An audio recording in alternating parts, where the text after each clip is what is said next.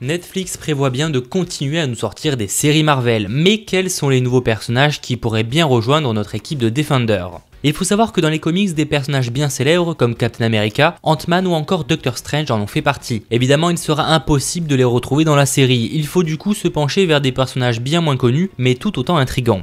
Alors je tiens quand même à préciser qu'il s'agit uniquement de possibilités et non de rumeurs ou d'informations dévoilées par Netflix. Pour le moment, en dehors du Punisher, aucun autre personnage n'aura le droit à sa série. On commence donc avec Moon Knight, le chevalier de la lune, qui pour le coup possède un parcours assez atypique. Fils d'un rabbin, Mark Spencer devint après une enfance difficile et une courte carrière chez les Navy un mercenaire peu scrupuleux. Lors d'une mission près d'une frontière égyptienne, il meurt tué par son patron contre qui il s'était révolté après avoir découvert ses vraies intentions. Son corps est récupéré puis déposé dans la tombe du pharaon Seti. Et c'est là qu'il revient à lui et réfuta le fait qu'il soit mort, en affirmant par la même occasion qu'il est le combattant de Khonshu qui lui a accordé de la force surhumaine et une résistance à la douleur. Revêtant une cape à l'effigie de ce dieu, il se présente comme un fantôme, un spectre de la lune investi d'une mission. Bref, un personnage fort intéressant dont j'ai réduit l'histoire vraiment au strict minimum. Une série sur ce dernier serait donc vraiment une bonne idée, et alors de le voir dans les Defenders, Mamma Mia le rêve.